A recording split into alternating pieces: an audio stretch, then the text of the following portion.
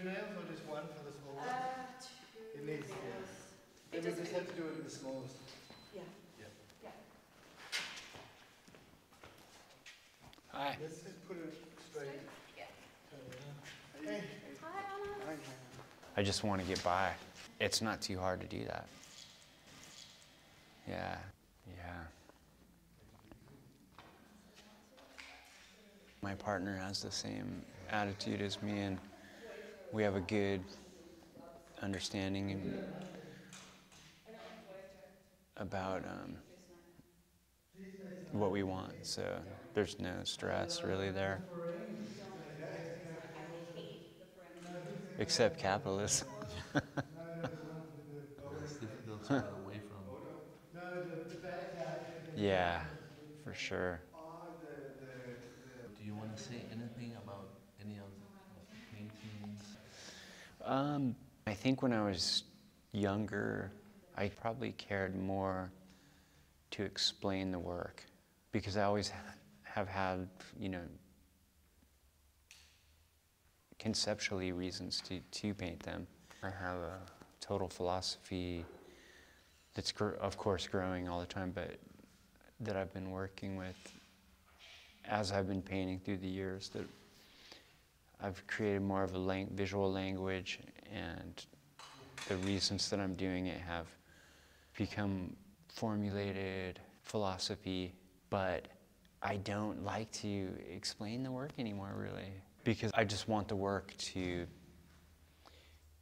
resonate what it what it does. I've been doing it a long time, and um, the many hours of of wor- working on the pieces through the years that comes out of the hand now, out of my body that makes the work, and they're just documents of time. But I'm not really.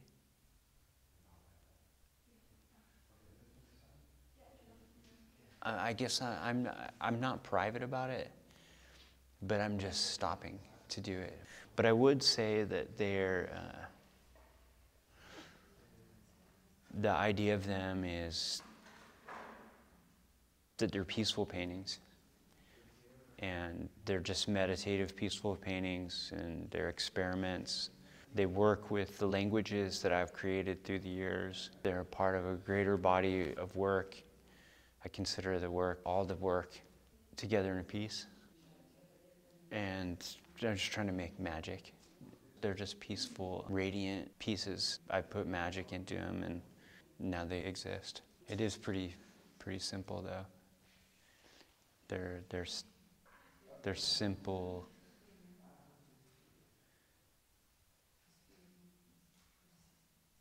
Yeah, they're just they're just simple pieces.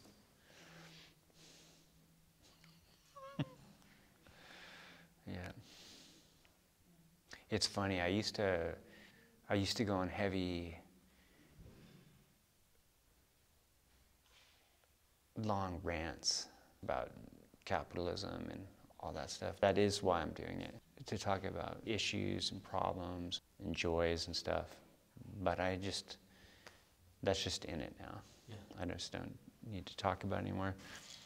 But you know, the one thing about these new colorful, kind of dreamy paintings, they are just experiments using the body. The, um, the shape of them is just basically because that's the shape of my body. That's just the arc that my hand has. Most of the paintings um, in here are uh, found canvases, which I always try to use found materials, but but these paintings here are they're like uh, paintings about um, you know life and death and like uh, you know nighttime is like a little death. I love i, I love it. I'm just i love the way the central nervous system just calms down if you're lucky you know. If you're lucky um, when you go to sleep maybe you'll get to like experience yourself drifting off to sleep. To me that's like this little death I love it. I'm so grateful for it. It's so nice to have a relationship with a consciousness towards um, ry- the rhythms of the body. I find that helpful because death is coming, comes for us all, and it's nice that uh, you know that we have some kind of gentleness within our beings that allows us to have peace, peaceful, peaceful times. Um, and these are like, I mean, there's so many, so much energy going into them, but they're like, they're about, they're definitely about doing hospice uh, for my family members. They take a while to paint. I don't care if a painting takes a long time or not a long time. Lots of my work from the past is was super rushed and was super harsh.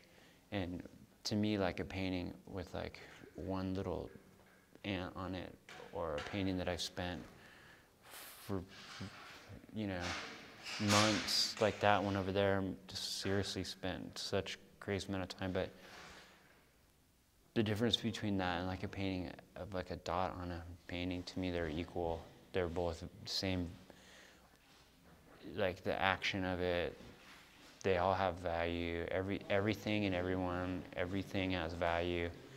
Everybody's special. It's, you know but um, these paintings are they're basically yeah they're like death paintings life death paintings.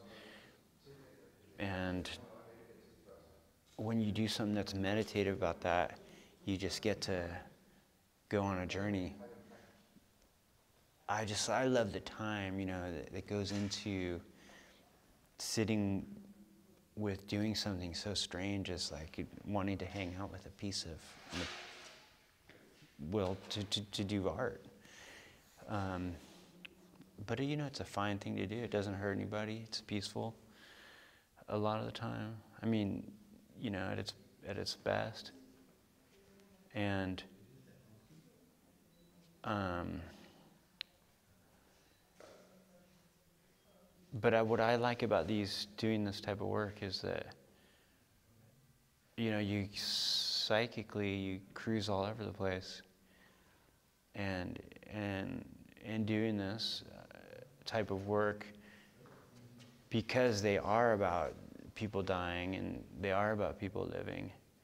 I think about people that are that have passed. I think about their lives. I think about all the times I had with them, and um, they help me have gratitude for my time to be here, and then have gratitude for uh, the times that I've hung out with people that who've split. You know.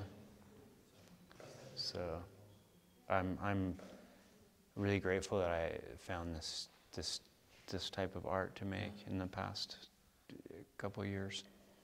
You know, the unexplained and all, all of that stuff. Um, I do you get to hang out with people that have died by making this art because I'm focusing on them. And I, do, I would like to think that that makes a connection. Yeah, I really would. It's a trip. You know, I have, um, I have uh, sleep paralysis. And sleep paralysis is this uh, crazy thing where your body freezes, but you're not quite asleep. You're like halfway in between and awake. And it's pretty, it, when you're some people find it really scary, um, and it can be every once in a while. But it's a it's a it's a very uh, weird experience in that um, in that uh, you do see like ghosts and stuff. It's a it's a very strange thing to be frozen and see shapes and all this type of stuff. Um, I don't know what to think about all that, but it is definitely a strange part of uh, existence to have these like kind of visitations and stuff. You can't move. You're like oh, and um, you you hallucinate basically. It's super interesting. So you, you see like uh, figures and and you feel things around you. That's why people are like, oh, it felt like something was sitting on my chest. You feel all that type of that all that type of stuff. But I've been having that forever, you know. I don't have it all the time anymore, but I've been having that like forever. Like so since you were a kid? yeah. Oh, it was terrifying when I was a kid, for sure. But could you talk to somebody about it? No, I think that was like pre. I think that was pre uh, people taking their kids to therapy. I was on my own on that one. Yeah, yeah, it was really interesting. Sounds amazing. Yeah, it's it's definitely strange.